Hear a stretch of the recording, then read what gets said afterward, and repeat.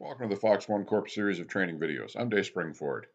Please visit me online at www.foxonecorp.com for your glider supplies. In this video, I want to take a look at the waypoint mode and answer the question, which is better, selecting your waypoint using the filter method or the list method? So let's take a look at how we can do that. First thing is, when we're in waypoint mode using either the quick menu on the remote stick, or by pressing one of the hotkeys on the main unit, we can come up with the select menu. Once we click select, this is currently in filter mode. And so what this allows me to do is it allows me to scroll through the waypoints based on the first character filtering. And so in this case, we can see that all of the 60 turn points are showing up on this list. My preference is I always load the cup file into the LX9000 that has numbers before names because I always like to use the filter method. And so let's say we wanted to go to turn point 29. Right now we're in the 60s. We need to get into the 20s. So our bottom right button counterclockwise, we can click into the 20s. And so now we have the list of the 20s and I said I wanted to go to 29. We can see that at the bottom of the list. So the first thing I can select is the go to button here. That takes me into the 20s. If I rotate clockwise, it will take me through the list 21, 22, 23, etc. If I rotate counterclockwise, it takes me backwards through the list 29, 28.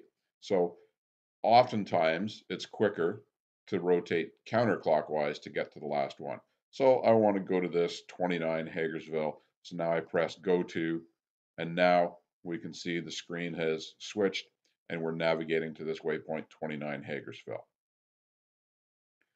The other option we have when we go to select a waypoint is to use the list method. And we can change the method here by clicking on the method button. And if we press again on the method button, it takes us to list. And now we can see a list of all the waypoints that we have in the cup file. Personally, I find this slow and tedious having to rotate through the entire list, particularly considering some of the waypoint lists are pretty long. So here we are at 29 and we want to go back to waypoint 60 that we had before.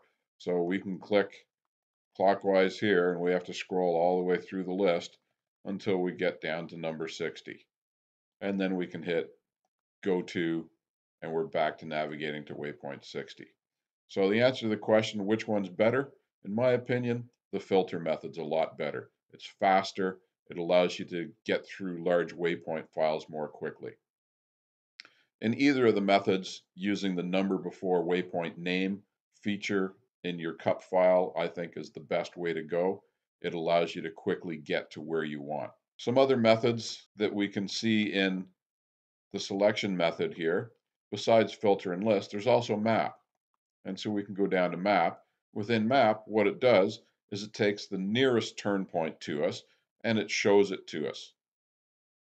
To get to the next nearest turn point, we rotate counterclockwise and we'll start scrolling through all the waypoints as they get further and further away from our current position. This might be a useful function when you're flying a MAT. The final method that we have is we have history. So if we go to history, we can see the last two waypoints that I've selected. And so if you're bouncing back and forth between waypoints, trying to decide which one to go to, quickly you can get back to your previous point that you've selected using this history method. So it's a pretty fast method as well.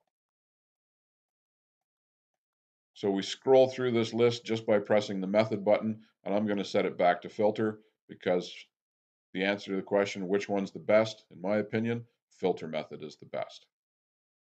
Hopefully you've learned something new about your LX computer today. Please visit me online at www.foxonecorp.com and subscribe to this Fox One Corp YouTube channel.